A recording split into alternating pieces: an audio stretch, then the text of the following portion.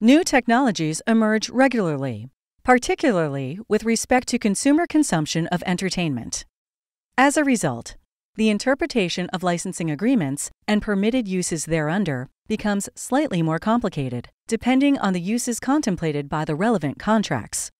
In the 1998 case of Boosey and Hawkes Music Publisher Limited versus the Walt Disney Company, we examine some of the relevant considerations that come into play when such new uses arise.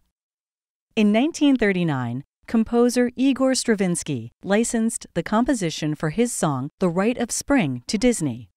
The copyright licensing agreement authorized Disney's recording of the song in any manner, form, or medium for use in one motion picture. Disney commissioned a recording of the song by the Philadelphia Orchestra and used the recording in its 1940 film entitled Fantasia. Stravinsky's copyright interests in the song were ultimately acquired by Boosey and Hawkes.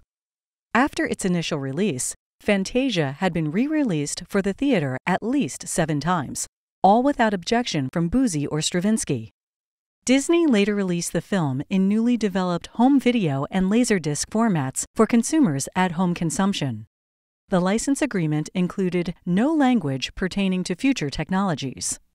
Boosey sued Disney in district court, alleging copyright infringement for the unauthorized use of the song in Fantasias in home film formats.